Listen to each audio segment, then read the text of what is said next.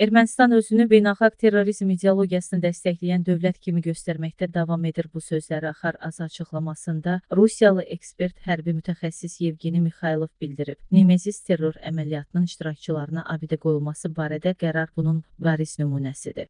Bu xəbər Ermənistan xalqının fəlakətli iqtisadi vəziyyəti fonunda daha qəribə görünür. Bunu vəba zamanı bir bayram kimi də anlamaq mümkündür. Yemək üçün heç nəyi olmayan ermənilər terrorçulara abidə ucaldı. Bu artıq şizofreniyadır. Belə çıxır ki, Ermənistanın gələcəyi artıq bəllidir. Cinayət ideyalarını dəstəkləyən izdivac ölkəsi statusu almaq və sonra xalq ərazisi deyə həm söhbətimiz qeyd edib. Onun sözlərinə görə Ermənistan rəhbərliyi ölkəni elə vəziyyətə salır ki, ağlı başına gələndə artıq gec olacaq ruslar və ümumiyyətlə dünya ictimaiyyəti Çar Rusiyasında Osmanlıda daşnaq sütun üzvlərinin törətdiklərini heç zaman unutmayacaq.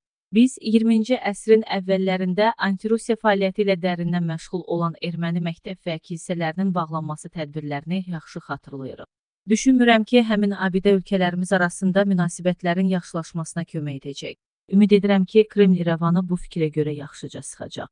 Bu tip ideyalarla gələcək qurmaq istəyən ölkə gec-tez məhv olacaq. Xatırladaq ki, İrəvanın mərkəzində Osmanlı İmperiyasının və Azərbaycan Demokratik Respublikasının liderlərinin məhvi ilə bağlı Nemezis terror əməliyyatını təcəssüm etdirən abidə ucaldılması planlaşdırılır. Nemezis bütün mənbələrdə terror əməliyyatı kimi tanınır.